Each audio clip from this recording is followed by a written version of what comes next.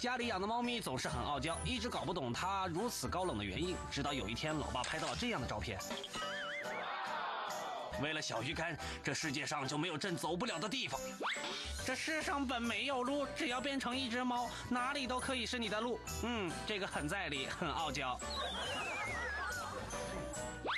几个月前，家里养了只小奶猫，弟弟把他心爱的奥特曼送给小奶猫了，画面很有爱。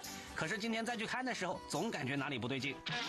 我只能说，岁月是把猫粮啊，从小奶猫长成了大怪兽。当初那个吓唬你的奥特曼，现在都不够你塞牙缝了。回家的时候带了份全家桶，吃到最后我总感觉少了点什么。扭头一看，喵星人嘴里叼着全家桶里少了的那份大鸡腿，哥哥怎么拔都拔不出来。我家猫咪是成精了吗？我仿佛听见这只猫在呐喊：“我几辈子没尝过这么大的鸡腿了，吃都吃了，干嘛还要从我手里抢回去？没门，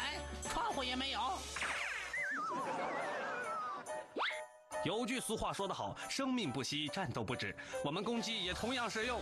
哟呼，看我的佛山无影脚！看得出来，这生前结下的怨恨，到死也要分个高低呀。两位冤冤相报何时了？现在没点江湖经验怎么开店？你选择自杀菠萝就只要一块九毛九一斤，如果是他杀，哼哼，得要两块九毛九。毕竟现在人工费可贵了。不就是吃个水果吗？需要弄得满城风雨、江湖动荡吗？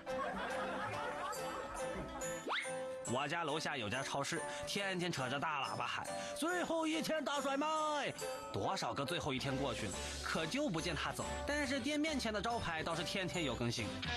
店家听我一句劝，咱转行去当编剧吧，肯定能写到大结局，没准还能吸粉哦。